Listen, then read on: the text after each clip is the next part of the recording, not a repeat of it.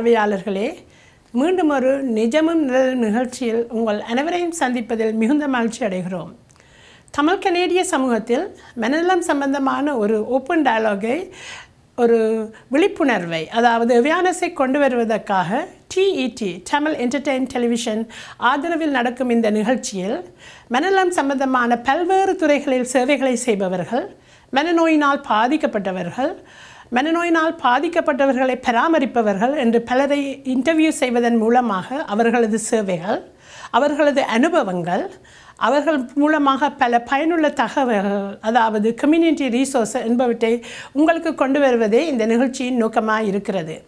நீங்களும் இந்த நிகழ்ச்சியில் பங்கு பெற விரும்பினால் டிஇடி தமிழ் என்டர்டெயின் டெலிவிஷனுடன் நேரடியாக தொடர்பு கொண்டு மேலதிக விவரங்களை பெற்றுக்கொள்ளவும் செல் நேயர்களே இன்றைய நிகழ்ச்சியில் நாங்கள் சிறப்பு விருந்தினராக அருத்திரு கிருஷ்டிகுமார் தங்கராஜா அவர்களை சந்திக்க இருக்கிறோம்.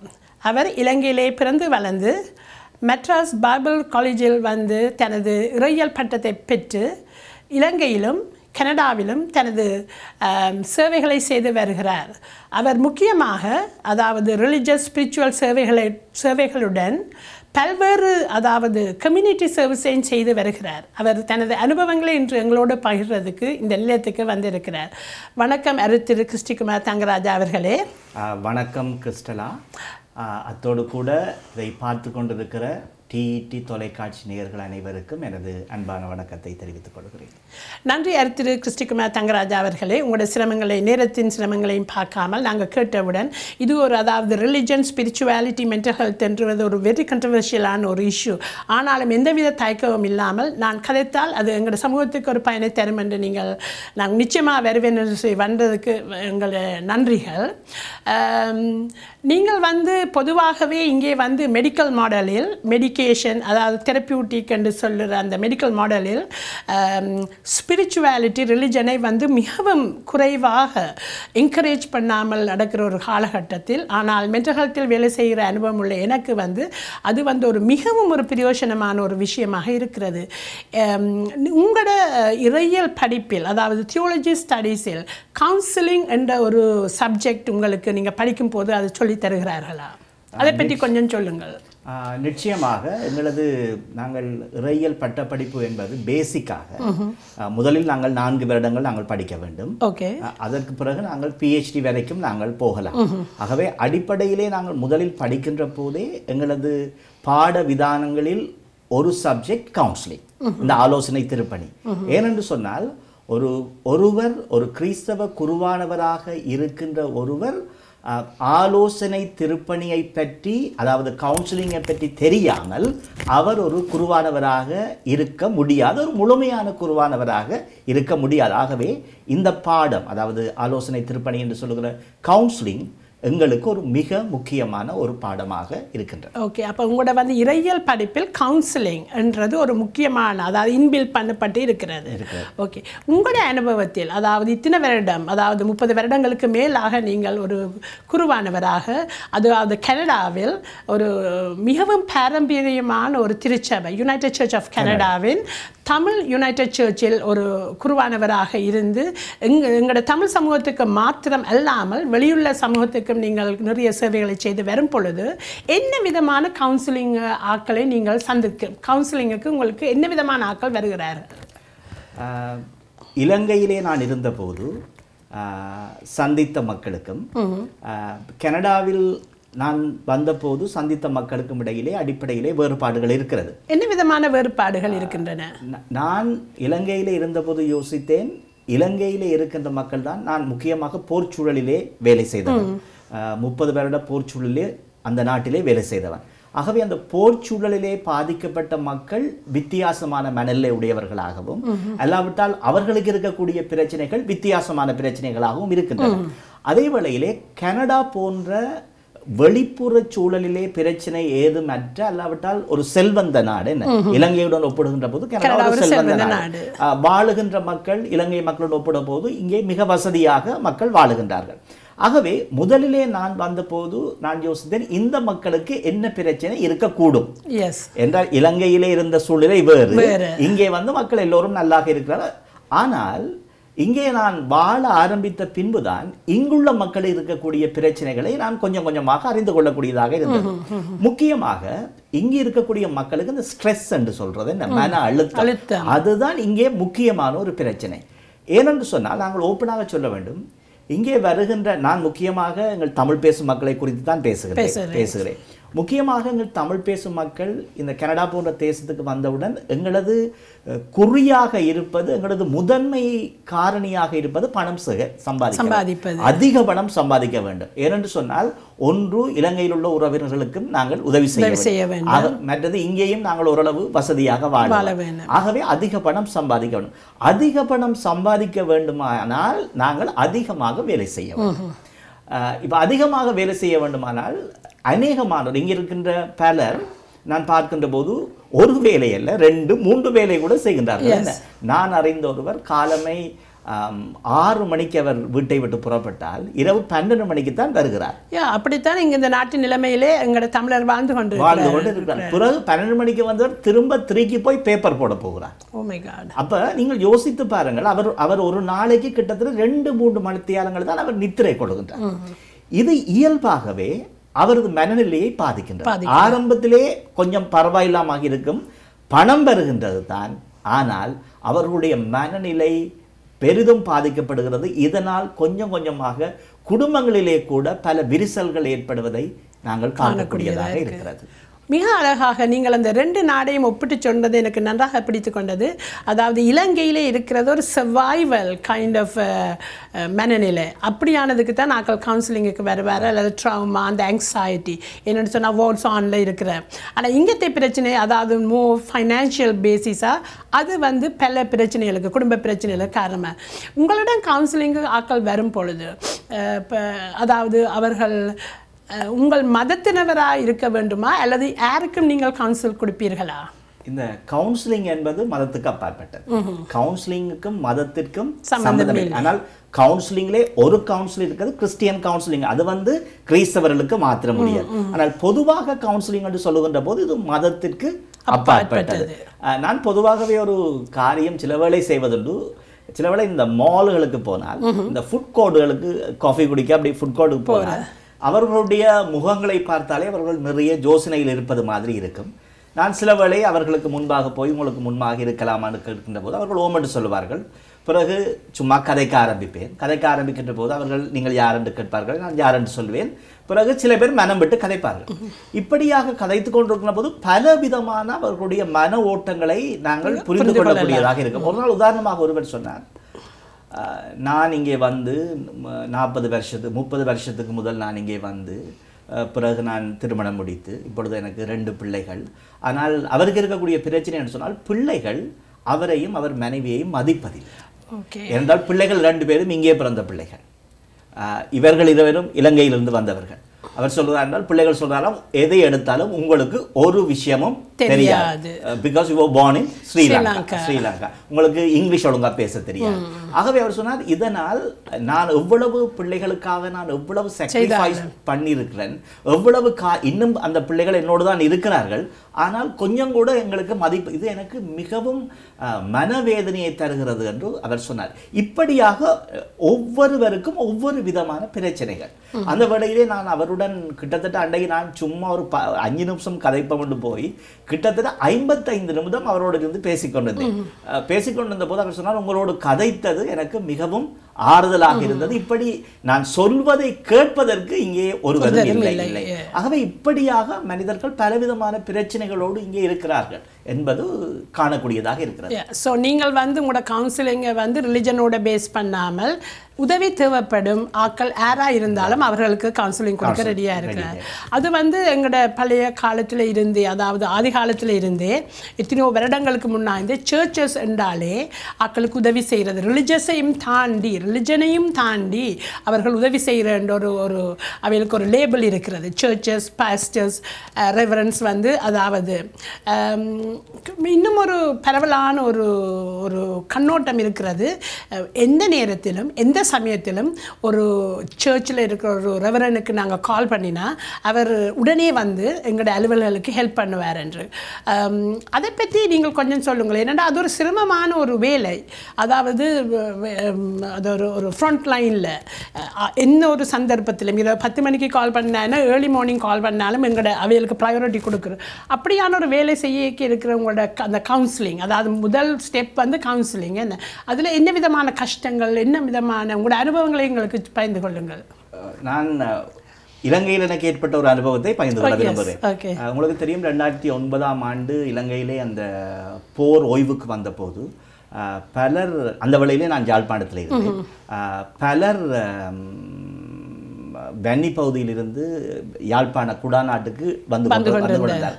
இதில் உங்களுக்கு தெரியும் பலர் தங்கள் குடும்பங்களிலேயோ கணவனை இழந்து அஹ், பிள்ளைகளை இழந்து மனைவியை இழந்து இவ்வாறு பலர் வந்து கொண்டிருந்தார் ஆகவே நான் இருந்த இடங்களுக்கு அண்மையிலே கூட இப்படி பலர் வந்து கொண்டிருந்தார்கள்.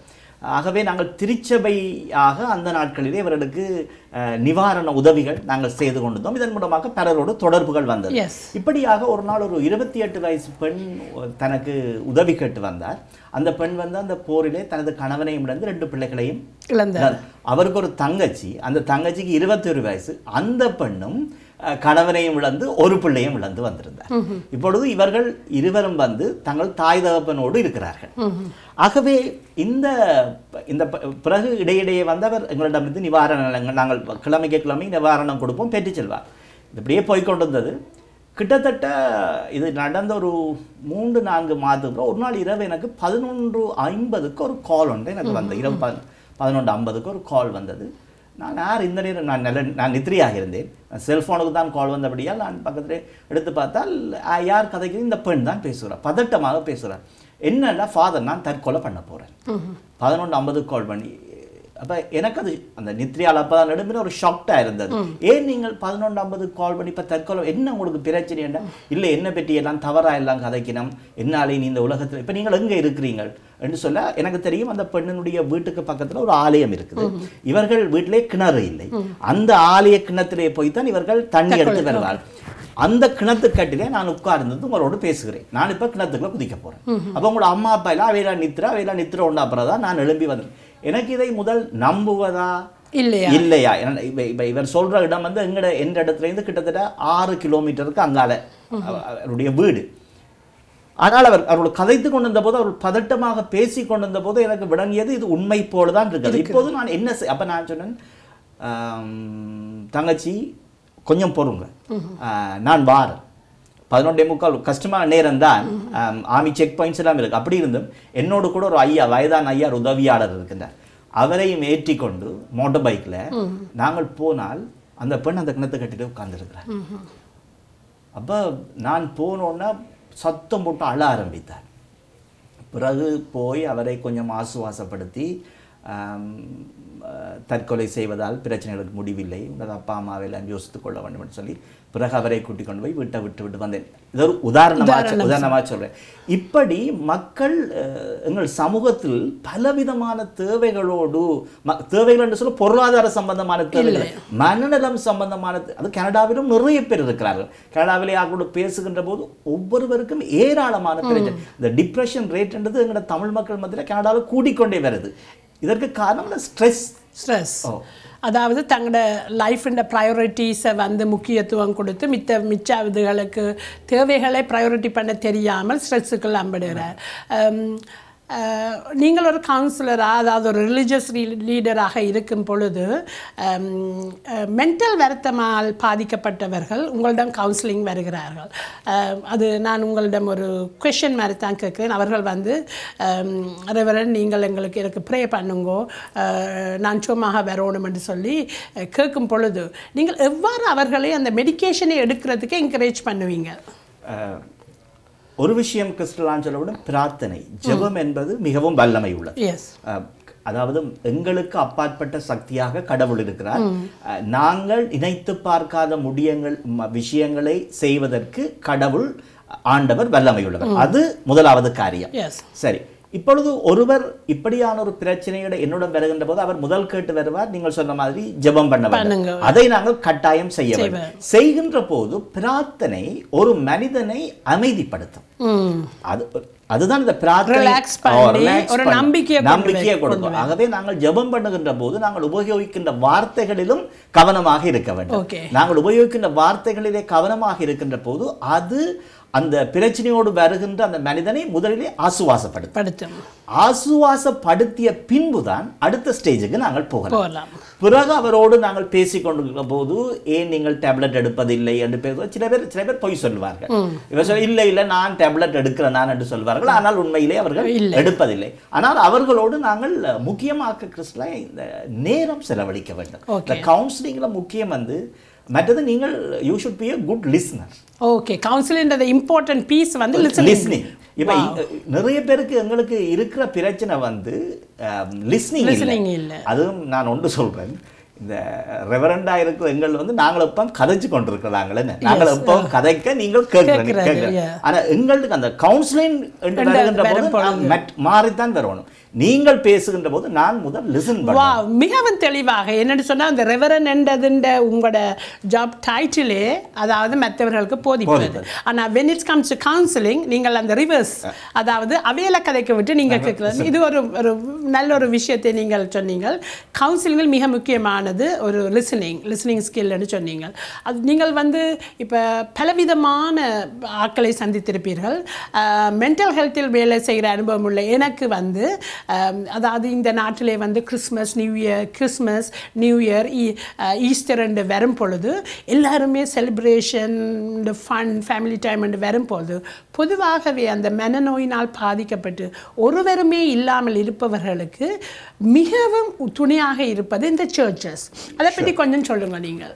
ஏன் அந்த சர்ச்சஸ் அவர்களுக்கு உதவி செய்யணும் என்ற ஒரு மனப்பாங்கு எவ்வாறு உதவி செய்கிறீர்கள்? இது அடிப்படையிலே திருமறையிலிருந்து ஆரம்பிக்கிறது. ஆண்டவராகிய இயேசு கிறிஸ்துவின் மகுட வாக்கியங்களில் ஒன்று உன்னை போல் உன் அயலவனையும் நேசி பிறனையும் நேசி. அப்ப எங்கட எங்கட வந்து ஸ்லோகன் அதுதானே இப்ப நாங்கள் எவ்வாறு எங்களை நேசிக்கின்றோமோ அதே போல இன்னொருவரை நாங்கள் நேசிக்க வேண்டும். ஆகவே இன்னொருவரை நேசிக்காமல் நான் ஒரு முழு மனிதனாக நான் இருக்க முடியாது. அதான் எங்களது அடிப்படை போதனை. ஆகவே அந்த போதனையின் அடிப்படையிலே தேவைகளுடன் இருக்கின்ற மக்களின் தேவைகளை நாங்கள் சந்திக்க வேண்டும். ஓகே அது மிகவும் முக்கியமானது. நான் ஒரு காரியத்தை நான் உங்களுக்கு சொல்ல வேண்டும் என்று இருக்கேன் இந்த கிறிஸ்தவருடைய அடிப்படை பண்பு நான் நினைக்கிறேன் ரெண்டாயிரத்தி ரெண்டாம் ஆண்டு ரெண்டாயிரத்தி ஓராம் ஆண்டு அளவில் நான் இங்கிலாந்திலே ஒரு படிப்புக்காக போயிருந்தேன். நான் ஒரு இடத்துல தங்கியிருந்தேன். ஒரு நாள் காலை வேளையிலே நான் ஆறரை மணிக்கு எனக்கு மில்க் பேக்கெட் வாங்கணும். ஆகவே அந்த பக்கத்தில் இருக்க ஒரு ஒரு போஸ்ட் ஆஃபீஸோட ஒரு சின்ன ஒரு கன்வீனியன்ஸ் ஸ்டோர்ஸ் மாதிரி உண்டு அதுக்கு போகும்போது காலம் ஆறு மணி அந்த குளிரிலே ஒரு பெரிய கியூ நிற்குது இதில் அரைவாசி நிற்கிறார்கள் வயசான ஆட்கள் எனக்கு அந்த ஆட்களை கனவெற தெரியும் என்றால் அவையில் பக்கத்தில் இருக்க நான் போகிற அந்த சர்ச்சுக்கு வர அந்த அந்த Okay, பீப்புள். அப்போ நான் அதில் பார்த்தா டேவிட் ஒன்று இருந்தார் என்ன இந்த நேரம் போஸ்ட் ஆஃபீஸுக்கு முன்னாடி இல்லை இந்தியாவில் ஒரு பகுதியில் பூகம்பம் வந்துட்டுது. அந்த மக்களுக்கு காசு அனுப்புறதுக்காண்டி நாங்கள் நிற்கிறோம் யோசிச்சு பாருங்க இந்த மக்களுக்கு அவர்களை யாரென்னும் தெரியாது. வா இது என்னுடைய மனதிலே அப்படியே ஒரு ஒரு பசுமர தாணி போல பதிந்தது. என்ன? இந்த மக்களுக்கு ஆனால் அன்பு அவர்களை ஏவுகிறது. அது முகமும் தெரியாது. அட்ரஸும் தெரியாத. அவர்களுக்கு.